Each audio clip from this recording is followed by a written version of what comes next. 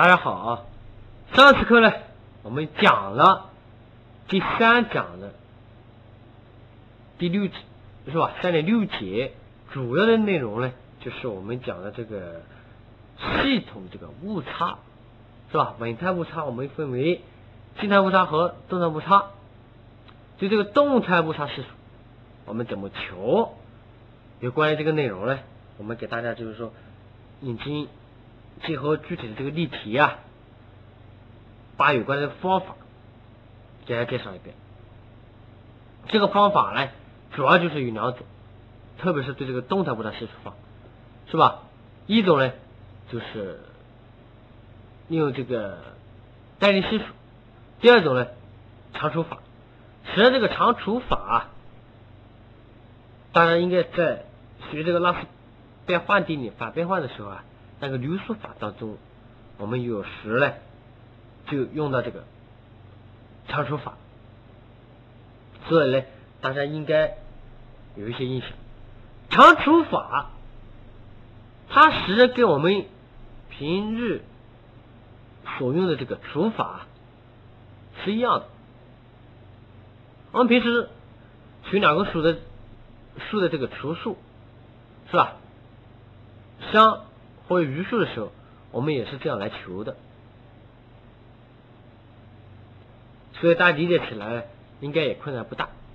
总的来讲，常除法比这个代定系数法呢要简单一点，但是对有些情况。也不一定，所以这是大家呢根据各种具体情况不一样而选择相应的这个方法，这个呢就有赖于大家课后啊平时多做这方面的这个习题，是吧？多动手。我们这门课啊，理论方面的东西比较多一点，数学方面知识比较多一点，这就要求大家不光课堂上要理解，而且还要课后呢，通过做一定量的这个习题来巩固所学的这个知识。就是这样的。如果大家光课堂上听一下，但是呢，课后如果不做的话，一下就忘了。有关的这个公式这东西，它是有个步骤的，是吧？这个步骤你不能光看，哎，这题好像我见过，我能做，我会做。但是呢，你如果不做的话，一到考试的时候，你就感觉心里没底，是吧？考试的时候我们时间很短啊，时间有限。一旦一个问题当中一个小很小一个部分，你可你如果解决不了，你可能这道题你都做不下去了，题也没用。所以呢，大家一定要。有这方面这个意识，不能光看看，哎，我会做了。你会，你看了会做，并不代表你真的做起来就会做。眼高手低的这个现象很常见，一定要对每一道题，特别是那种典型的这个题，是吧？你自己做一遍。然后看我们给你的这个答案或者步骤是不是一样的？如果你发现哎一样，那就说明你做对了。如果你发现哎不一样，你就要找原因。哎，我在哪一个地方错了？我为什么会出这样的错误？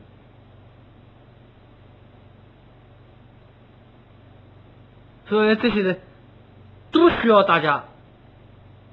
在做题的过程当中，发现自己的问题，解决这方面的问题，这是一个逐步提高的这么一个过程。所以我们这门课啊，大家可能也意识到了，或者也注意到了，我们主要的是给大家讲例题，我们有很多例题，是吧？我们讲一个方法，就要给大家一个例题，目的就在于大家好好的能理解。如果我不讲例题的话，我光给你一种公式或者啥，大家肯定也不知道怎么用。我只有通过各种各样的这个例题啊，大家呢就能够很好的用起来，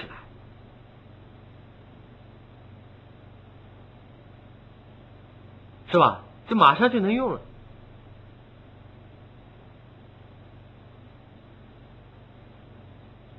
而且呢也能够。反馈反馈过来呢，就是加深对我们所学知识这个理解，这也是例题的好处。所以跟别的那个课程可能不一样，别的课程有些，比如有些课程，它是让你了解的一些知识，是吧？可能就不需要做题。哎，你就课堂听听，了解一下就行了，或理解一下就行了。但是有些课程，它是理论性比较强的，是吧？还有一些课程是动手比较强的，实践性比较强的。这些呢，都要求大家对理论性比较强的，你就要哎知道这公式怎么来的，怎么推导的，你要会，是吧？然后你要做大量的这个题，巩固。对所学定理这个理解和应用，对实对那种实验性比较强的，那你就要哎通过各种各样的这个实验，是吧？来加深对所学现象啦、所学概念这个理解。好了，就讲这么多，但是呢，这些话呢是很有必要的。是吧？我们不光要给大家介绍这方面这个内容，而且更重要的是让大家掌握，就是起到一个举一反三的作用，是吧？你会这门课程，你会以后自己会自学了，但是你以后学别的学生课程的时候，你也能够做到应用自如，是吧？所以也要。具备这种自学的能力，是吧？要授人以渔，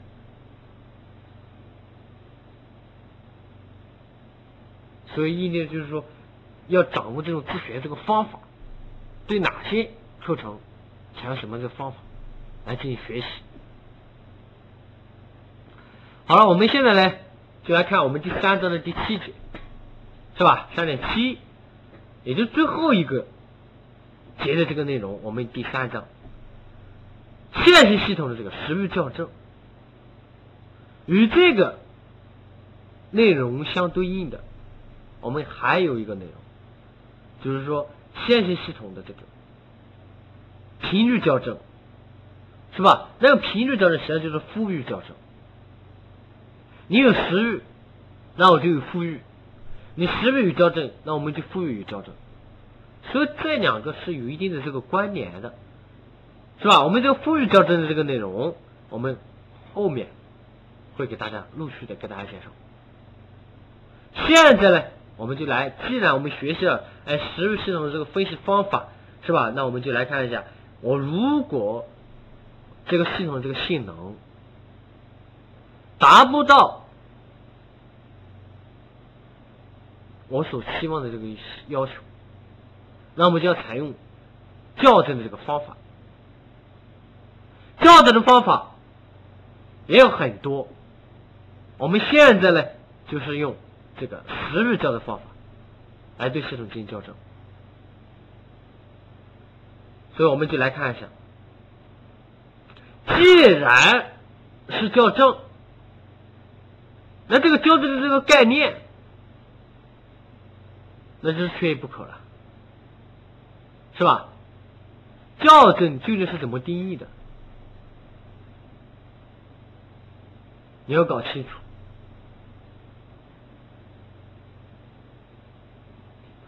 校正，我们就是说采用适当的这个方式，在系统中加入一些参数和结构可调整的这个装置，是吧？这个装置我们称为校正装置，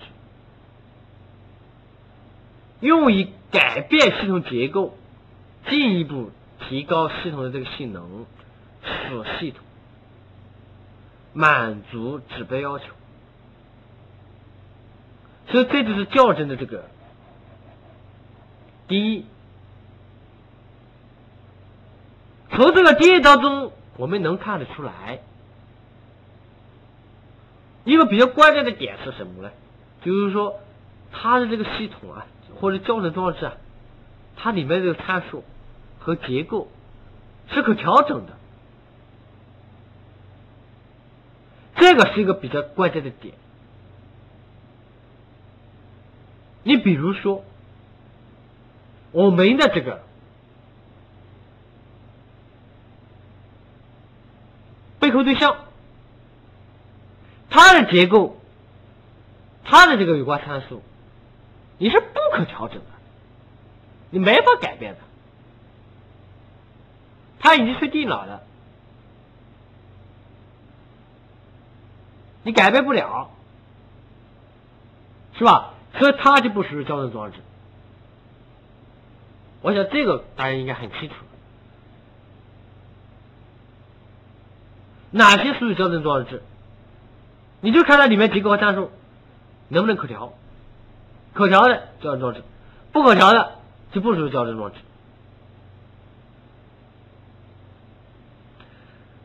所以呢？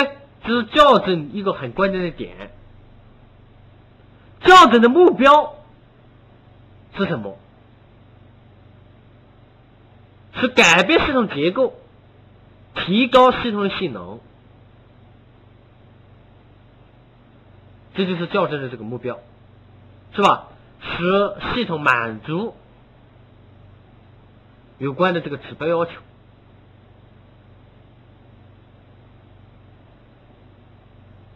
好了，有了校正的概念以后，我们就要来看校正的这个方式，是吧？以及有关的这个系统的这个结构图，是吧？这个呢，图呢，就是一个很典型的我们校正系统的这个图。就这个图。我们后面所有的校正方法都是在这个图上，结构还是这个图，只是说，比如说我这个校正元件，它里面有个参数怎么来设计，怎么来调整，方法不一样，但是我的整个系统大致这个结构就是这么一个结构，这不会改，不会改的，是吧？你不管对哪种形式交通方法。你只是去校正这个参数的方法不一样而已，是吧？这个结构是不变的，大家注意。所以这个图呢，它的一个好处就是什么呢？就是把我们控制系统里面校正的这个结构呢，完完整整的给你表示出来了。哪个地方属于我们的被控对象？哪一块属于我们的这个校正元件？是不是？等等，都给了。我们来看一下这个图，在这个图当中，首先左边就是这个给定元件，是吧？给定元件，顾名顾名思义，它是用来给定这个输入信号的，是吧？这个输入信号，大家注意，它的值可能是恒值不变的，也有可能是变化的，这个就是输入。然后呢，与输入相对应的肯定就追踪这个输出。输出它来自背后对象，这个背后对象实际上就代表我们要控制的这个目标。比如说，我们现在要控制这个洗衣机的转速，我们要控制这个空调的这个温度，那这些就是我们的控制目标或者控制对象。背后对象是吧？然后呢，在这个背后对象前面上面肯定就有个干扰，因为你这个背后对象啊，它实际运行的这个过程当中，它是有各种干扰存在的，所以它的干扰呢，可能就。使我们这个背后对象它的常量函数啊，或者它输出出这个大小啊，发生改变了，我们把它作为一个干扰来对待。然后呢，输出它肯定要通过这个测量元件，把它反馈到这个我们这个比较元件里面来，以使它跟这个输入信号啊进行比较。得到我们这个偏差信号，是吧？直接来自输出到输输入来进行比较的这个，我们称为主反馈，这个回路称为主反馈回路，是吧？当然，在我一些系统里面，我们知道，除了主反馈，我们还有局部反馈。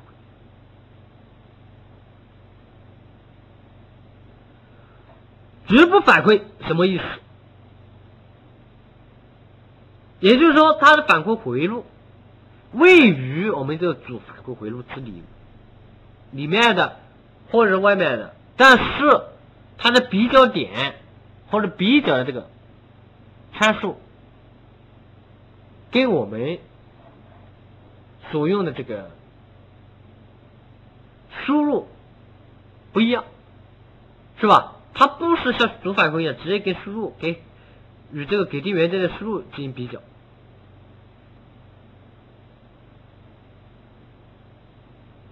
它只是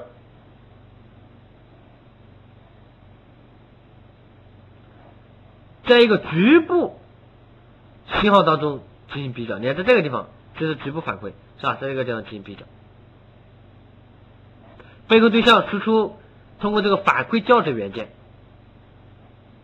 进行局部反馈，进行校正。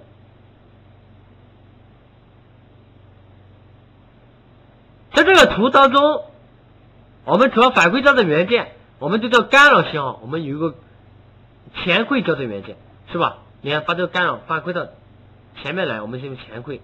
这种方式我们叫按干扰补偿的，因为你有干扰存在，那我肯定会想一个方法。我在这个地方设一个前馈校正元件，按干扰来进行补偿，是吧？按干扰补偿的方法，它有啥好处呢？它可以把你这个干扰消除掉，是吧？你比如你干扰增大，那我通过这个前馈校正元件，我就使你干扰变小，反正我跟你相抵消，这就是这个按干扰补偿的这个前馈校正元件。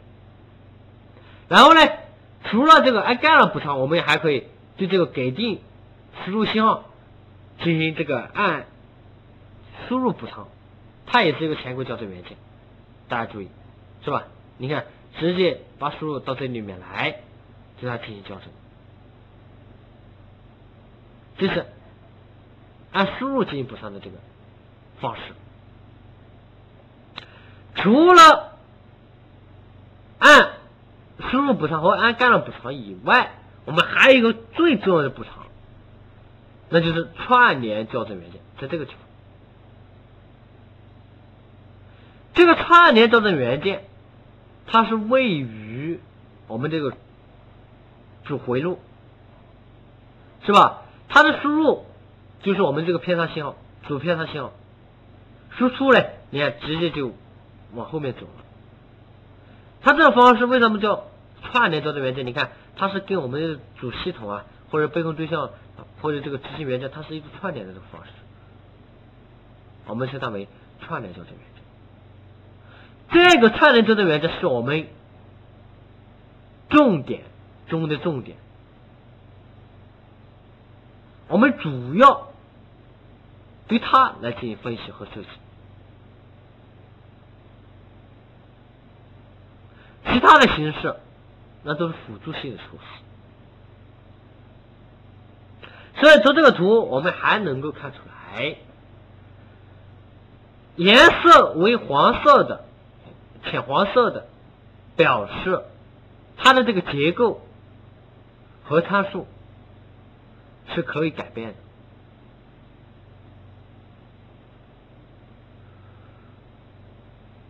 是吧？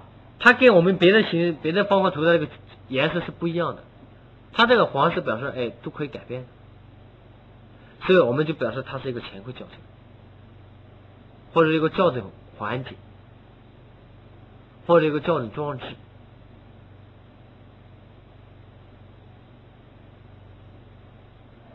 好了，我们有了这个图呢，我们就可以更好的来给大家介绍一个校正方式。讲的这个校正方式，我们主要有三种。第一种呢，就是这个串联校正，串联校正，大家注意，是吧？这个方式，我们称为串联校正。第二种呢，反馈校正，反馈校正跟我们串联校正的这个区别是什么呢？我们串联校正，也就这个校正元件，它是位于我们这个系统的这个前向通道的。反馈校正，它是位于我们这个反馈通道。所以大家注意，就这个。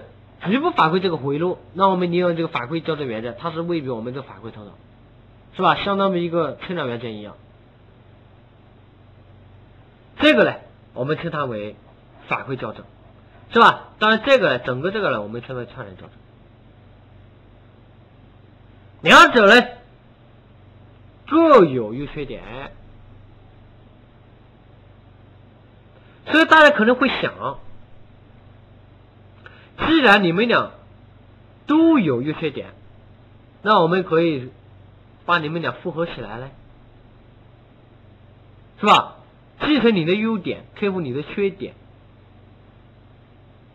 两个人都把优点拿出来，缺点都一直掉了，那是不是系统性能更好？这就是我们讲的复合校正。符合校正，它就包括了我们讲的串联校正、反馈校正。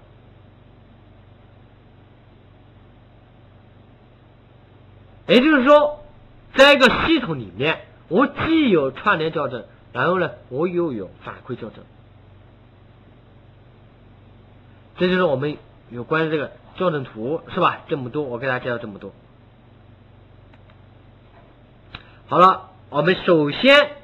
就来看反馈校正。既然是反馈校正，那这就是反馈。反馈有哪些好处？我们要注意。实际上，我们在平常生活当中所见到的各种现象呢，那都是用到这个反馈的这个概念和知识。但是，我们现在就是要从数学上严格的。分析、定义，我这个反馈是吧？我反馈具体有啥好的作用？我要类比一下或者对比一下，一种呢是有反馈，一种是没反馈。那你这个有反馈的，是不是比我这个有反馈的没没反馈的确实要好？好在哪？这就是反馈的作用。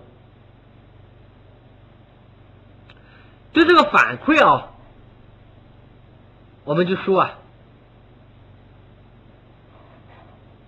它有个作用，就是说局部正反馈可以提高环路的这个增益。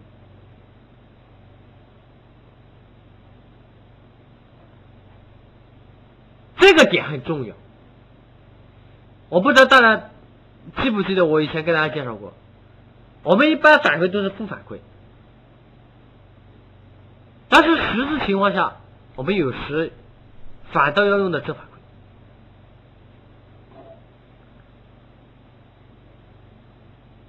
是吧？这就是这一点所表达的，局部正反馈可以提高环路这个增益。你的环路增益一提高，你的系统动态性能就好了。但是呢，增益也不能无限制的提高。一般来讲，增益越高，系统越不稳定。但是呢，增益越高，系统的这个动态响应要好。所以这就有个权衡的过程。你既要使系统稳定，然后呢，你要使系统的性能呢要满足要求，是吧？两个是一个互相矛盾体。那这样两个目标是矛盾的，那你就肯定取中间位置了。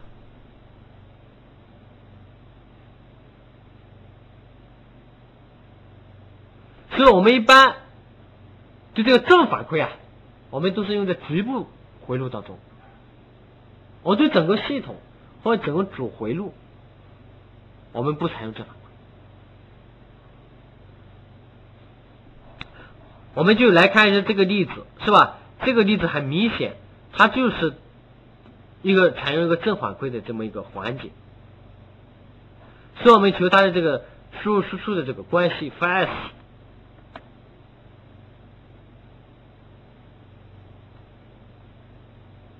f s 呢就等于这么多，然后把它化简，是吧？等于这么多。再一化点，换我们标准形式 T S 加 E 的那种唯一的那个表达式，是吧？那就等于 T P S 加一分之 K 一撇，是吧？当然 T 一撇等于等于这么多，K 一撇呢又等于这么多。我们能看出来，K 一撇呢，那就等于一减去 K I K 乘上 K 二七分之 K，这个表达式呢，那是毫无疑问是大于 K 的，是吧？这个 K 撇要大于 K，我们前面没有用反馈之前，我们是 T S 加一分之 K，是吧？现在我们用了一个正反馈，发现哎，K 撇要大于 K，所以环路的这个增益提高了。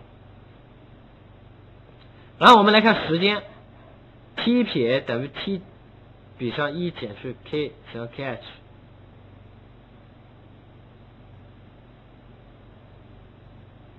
那这个呢，小于 t 的，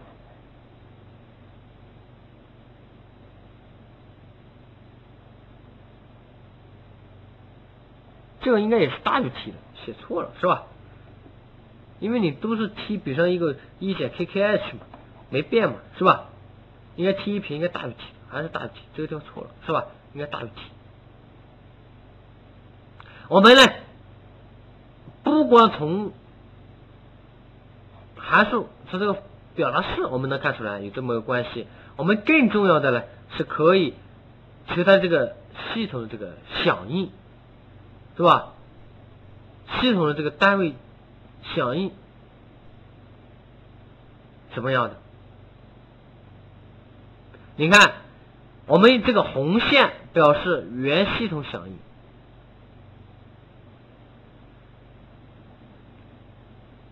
绿颜色的线呢，我们表示反馈后的这个响应。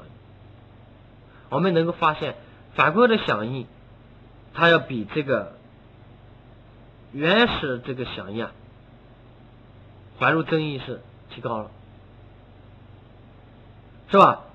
增益一提高，我们这个系统性能啊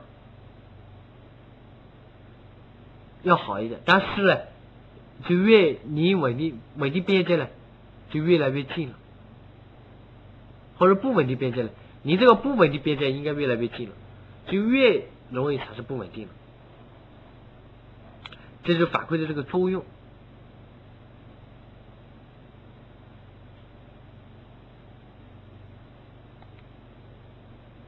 好了，我们讲到这个反馈的这个作用以后呢，我们就来看一下反馈校正有关的这个例子。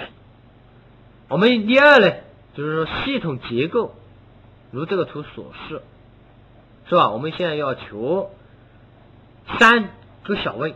第一小问呢，kt 等于零的时候，系统这个性能。然后第二小问呢，kt 升高增大，那我们要求系统的这个误差。稳态误差 T_s 建立时间变化趋势什么，是吧？我们又取 cos 等于零点七零七，也就取这个最佳阻尼比的时候，我们误差的这个是吧？T_s 等于多少？第三个条件，Kt 升高增大，Rt 等于 T 的时候，ESS 变化趋势是什么？然后呢，cos 等于零点七零七的时候，ESS 等于多少？这就是我们对这个反馈校正它的作用，我们要有一个通过这个例题啊，有一个定性的这个认识，感性认识。所以这个图，你看这个地方采用一个局部负反馈，是吧？这个负反馈呢，它是一个微分环节。还有增有个微分的这个增益系数 kt 是吧？这个 kt 呢，对我们这个系统性能参数啊影响比较大。好，我们首先就来看一下，kt 等于零的时候，kt 等于零，那就没有负反馈了，是不是？没有负反馈，我们可以利用劳斯判据判别我这个系统。它的结构不稳定，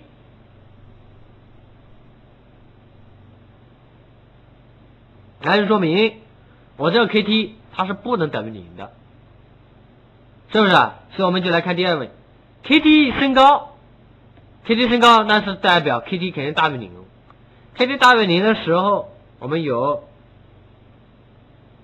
我们可以推出，是吧？当 kt 小于二的时候。kt 继续升高，那我们可以推出这个 cos 是升高的。为什么这 cos 是升高？cos 升高，大家就注意，我们把这个系统的这个弹力函数把它求出来，你用梅森增益公式是吧？把这化简求出来，求出来以后，我们呢就可以跟我们那个标准的这个形式进行比较，是吧？我们对二阶系统。标准形式，我们有个 cos 是吧？然后 kt 升高，我们 cos 升高，cos 升高，我们也可以推出这个误差线是吧？稳态误差线，摆成这个嘛。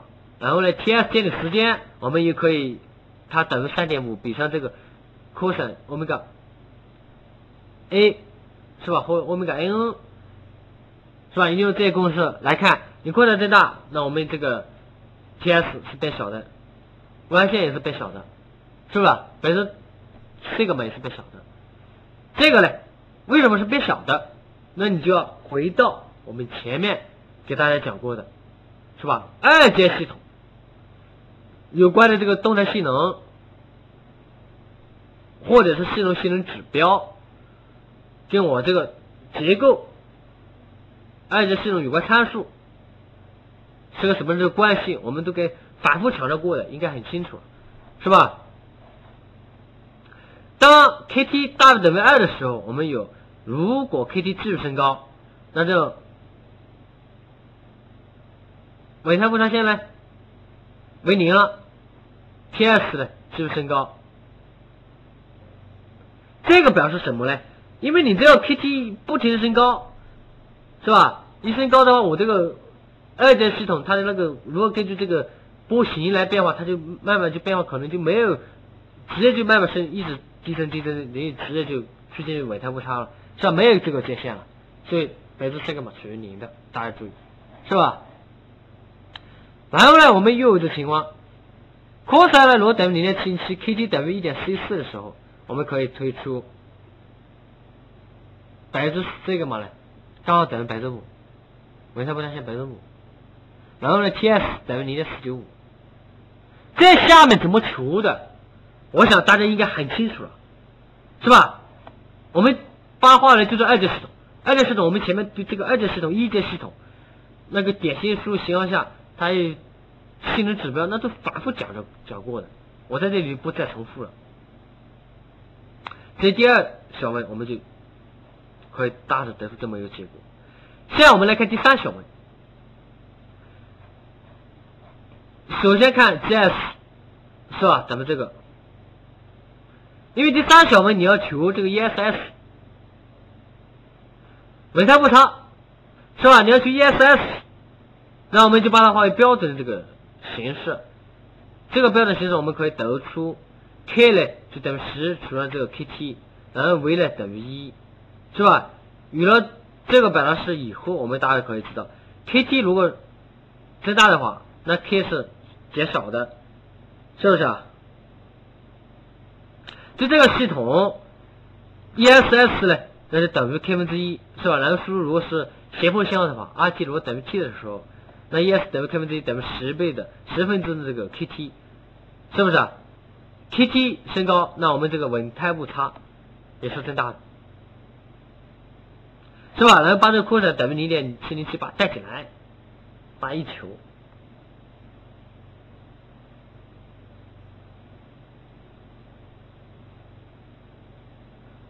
所以呢，这个呢，反馈校正的这个作用，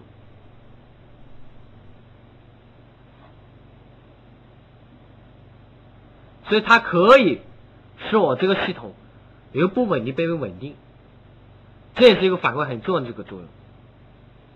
你正反馈你就很难做得到，哎，你系统原先不稳不稳定的，然后你通过正反馈可以使它稳定，这个很难做得到。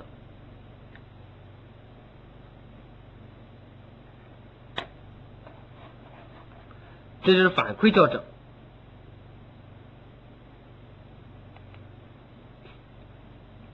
好了，我们这个反馈校正呢，我们再给大家介绍个例子。例三，系统这个结构图以及单位阶位响应，如这个图所示，我们来确定这个参数 k 为 t。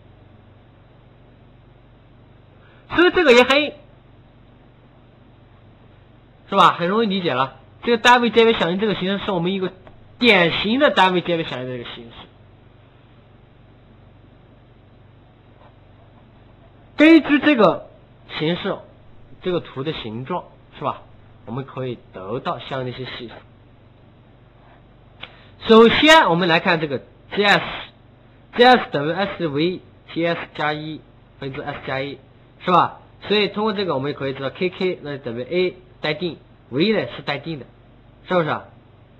我们来看 ESS 稳态误差，ESS 等于零的，那就 ESS 等于零，我们可以推出 V 是大等于一的，是吧？根据前面我们那个表，因为它输入对应的是这个边缘响应，是吧？也就 RT 等于 E T 的时候 E E S 等于零，我们可以推出 V，是吧？这个积分的这个 GSV 啊，它达到等于一的。然后呢，我们就求有了这个 GS，然后有了这个反馈，是吧？我们可以求系统的传递函数 FS 等于这个求出来，是吧？发现这个，发现这个呢，我们就来来看一下，DS 等于 TS 加一加 S 加 S 加 A，是吧？V 呢小于等于二。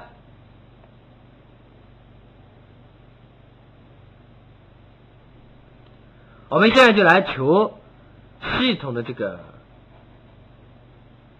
单位稳态响应，单位阶位这个稳态响应是吧？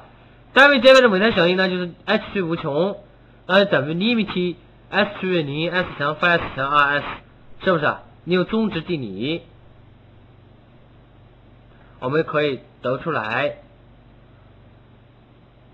是吧？s 趋近于零，我们可以得出 h 无穷那是趋近于十。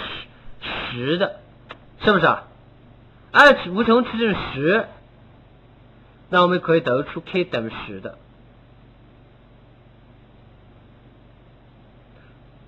为什么这么说呢？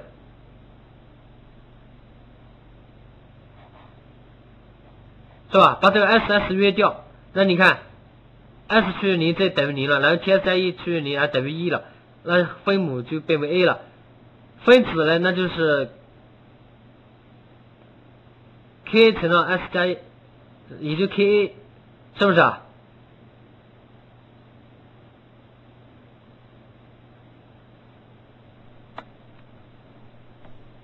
？k a 的 a a 约掉，那就等于 k 是吧？现在我们看一下，s 除以无穷，它这个刚等于十，那所以把这个式等于十，那就 k 等于十，是吧？这个式是怎么来的？然后呢，我们要求这个利用这个形状波形，我们可以得出它这个地方位于零处的这个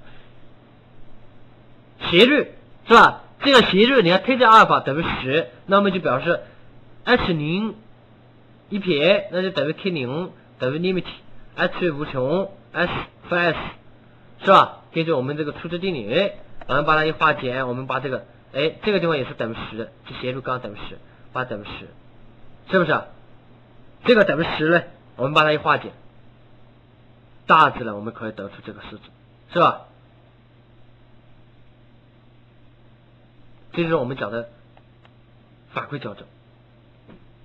当然呢，我就不讲这么多了，是吧？大家自己去琢磨一下，我们可以得出这么一个结论。好了，我们最后呢，发一点例子，花一点时间给大家介绍这个复合校正。复合校正呢，大家注意，它你看有对这个按这个干扰输入的这 JS 进行复合校正，是吧？也有对这个 RS 对这个。按输入 GS 进行校正是吧？两者都用了，所以我们称复合校正。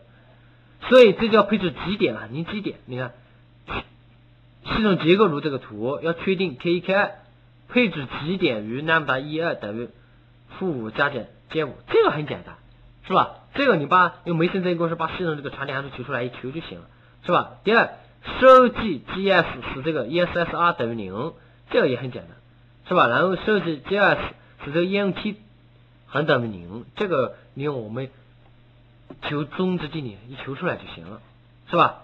我们这个呢，我们就不求了，是吧？我们只给这个结果，结果就这样，k 一呢等于五十，k 二等于零点一八。第二问呢就 GS 等于这个，是吧？第三问呢 f ENS 等于 E S 比方 ENS 等于这个，是吧？